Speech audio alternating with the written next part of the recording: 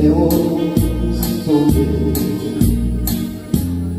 거쳐간 인생 몰라 그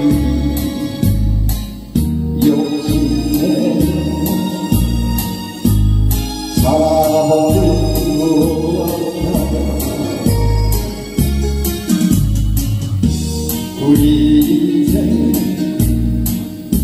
강물처럼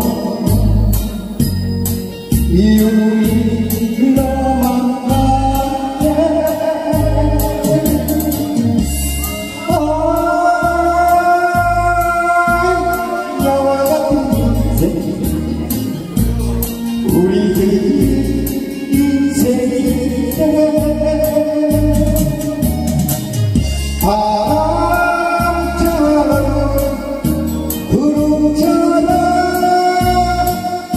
흘러가 인생이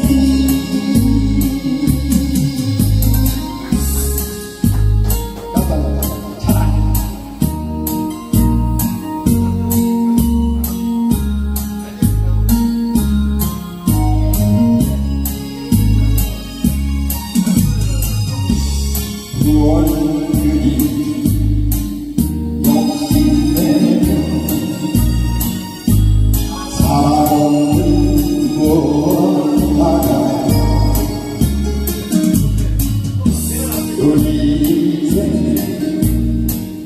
강물처럼 유유히 흘러간다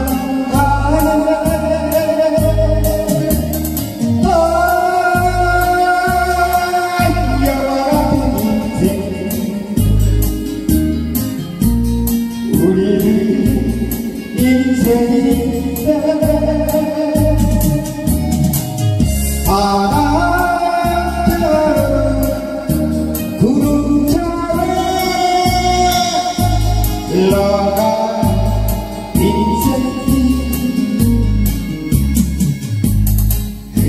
God.